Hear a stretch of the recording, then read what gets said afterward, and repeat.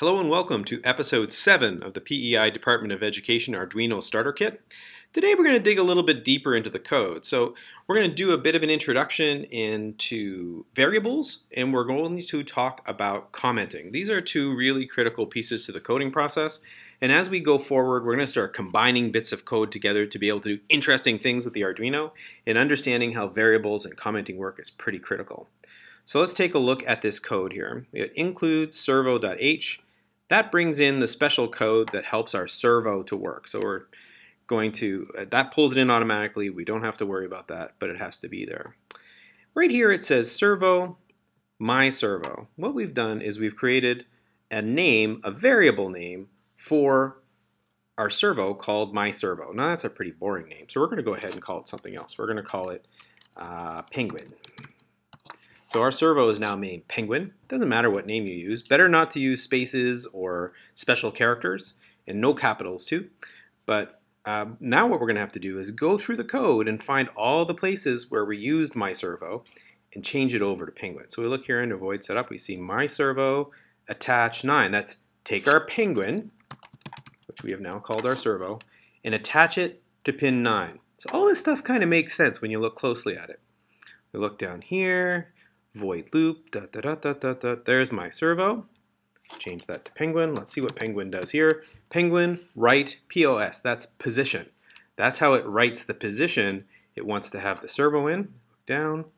And here we have my servo, so our penguin. So write to the penguin its new position.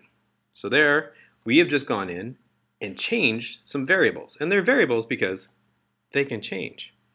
There's one more variable in here for us to look at. I'll let you guys go ahead and change this one on your own. It says int, which is an integer, position equals zero. So POS, this is a variable. It says variable to stir, serve, to store the servo position. See how useful this comment is? I advise you in as many ways as you can to go in and adjust these comments and put as much information as you can. So as long as you put a slash slash like this, It'll gray out and allow you to write whatever you want in here. It's a great way for uh, you to remember what you did, but it's also a really good way to prove to your instructor, if you're in a classroom environment, what exactly you've gotten done. So it's great for assessment. It's great for teachers to get a sense of what where students are and to be able to help them uh, get further down the road.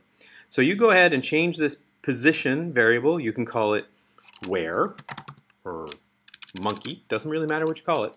And then go through and see what it's doing through the code. Adjust that up and then go in and change these comments.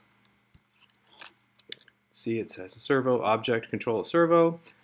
I have called it penguin because they are cool. Anything you want can be written in there.